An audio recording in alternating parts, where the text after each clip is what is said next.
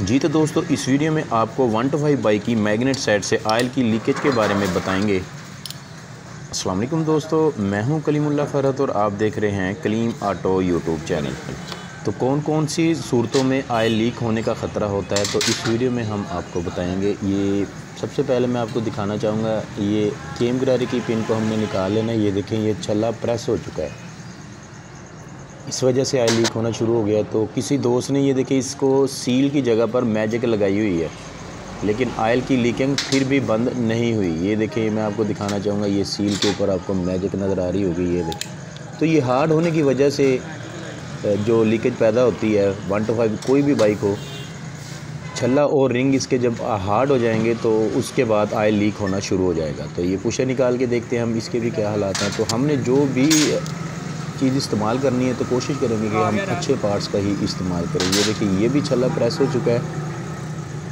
ये पुशर का छल्ला भी आप देख सकते हैं। तो इससे कैसे बचा जाए? गर्मियों के मौसम में अक्सर ऐसे मसले ज़्यादा पैदा होते हैं तो मैं आपको इस वीडियो में बताऊँगा कि आपने ऐसे मसलों से किस तरह से बचना है।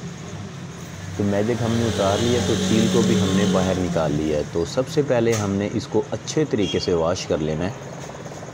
मैग्नेट साइड वाली जगह पे, जहाँ जहाँ पे हमने रिंग डालने हैं, हमने मिट्टी के तेल से या पेट्रोल के साथ जिससे भी हमने वाश करना है इसको अच्छे तरीके से।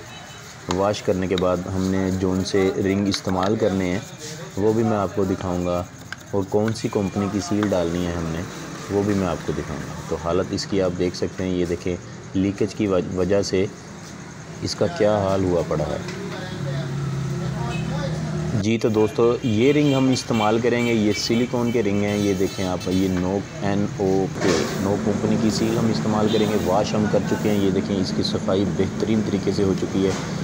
तो इन रिंगों को जब हमने डालना है ग्रीस की मदद से हमने इसकी फ़िटिंग करनी है। हमने इसके ऊपर कोई सिलिकॉन नहीं लगानी, कोई सोलूशन कोई गम वगैरह, किसी चीज़ का भी इस्तेमाल हमने नहीं करना। इन रिंग के ऊपर हमने ग्रीस लगा देनी है ग्रीस लगाने के बाद ये देखें आराम के साथ ये फ़िट हो जाएगा। इनकी लाइफ ज़रा ज़्यादा होती है, इसलिए हम ये रिंग का इस्तेमाल करेंगे। यहाँ पर भी पुशर पर भी हमने रिंग लगाने के बाद, इसके ऊपर भी हमने ग्रीस लगानी है। ग्रीस लगाने के बाद इसकी भी हमने फ़िटिंग कर देनी है। ये आप देख सकते हैं। तो ये लीकेज की मैं वजह आपको बताने लगा हूँ। जब ज़्यादा सफ़र किया जाए बाइक पर गर्मियों के मौसम में पहले भी मैं आपको बता चुका हूँ कि ऐसे मसले गर्मियों के मौसम में ही पैदा होते हैं या सफ़र आप ज़्यादा कर लेते हैं तो बाइक जो सा हीटअप होना शुरू हो जाती है।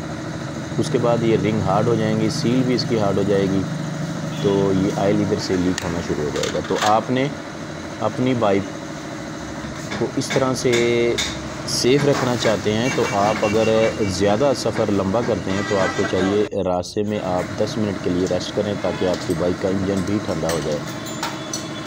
तो आयल का भी टाइम पर तब्दील होना ज़रूरी है। तो जब ये लीकेज होती है, उसके बाद आयल इंजन में कम होना शुरू हो जाता है तो बाइक में ऐसे मसले ज़्यादा पैदा हो जाएँ।